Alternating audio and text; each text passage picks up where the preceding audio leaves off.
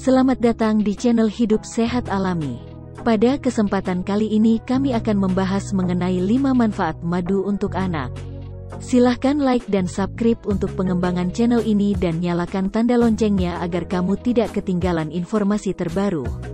Madu memiliki banyak manfaat untuk anak berkat kandungan nutrisinya yang beragam, seperti gula, karbohidrat, vitamin C, vitamin B, asam amino, zat besi, zinc, dan kalium.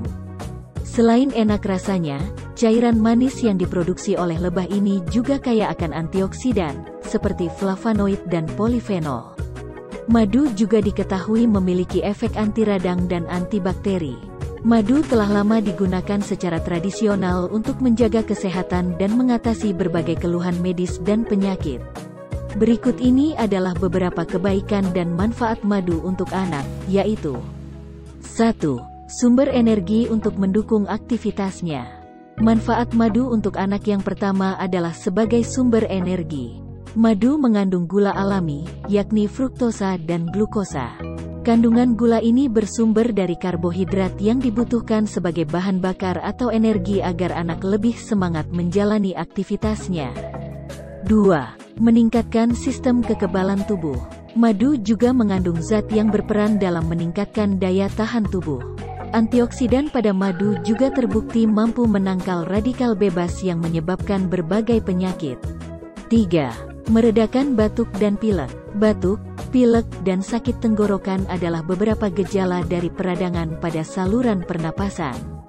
Anak-anak sering mengalami hal tersebut ketika ia terkena flu atau ispa. Nah, Menurut beberapa penelitian, madu terbukti mampu meredakan batuk dan pilek pada anak serta meredakan peradangan pada saluran nafasnya. Dalam meredakan batuk, manfaat madu bahkan terlihat memiliki efek yang sama manjurnya dengan obat batuk.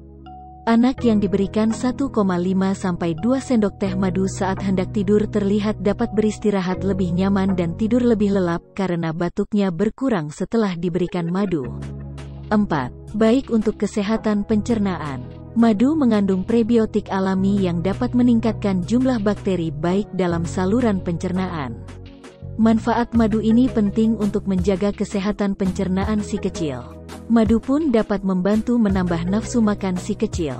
Hasil studi dari beberapa penelitian menunjukkan bahwa madu mampu meredakan gangguan pencernaan, seperti konstipasi dan nyeri perut pada anak. 5. Menyembuhkan luka lebih cepat. Anak-anak cenderung aktif ketika bermain, sehingga rentan terjatuh dan terluka.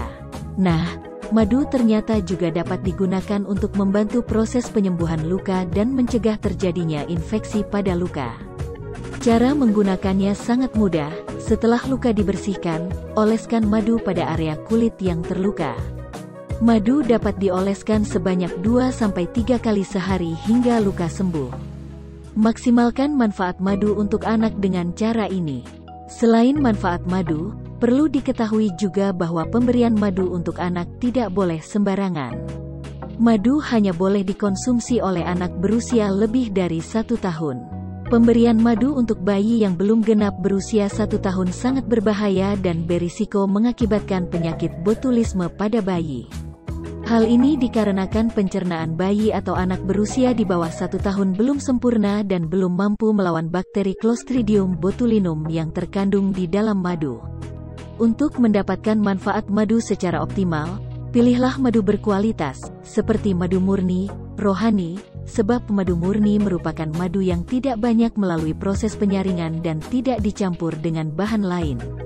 Oleh karena itu, Madu jenis ini memiliki kandungan nutrisi lebih tinggi.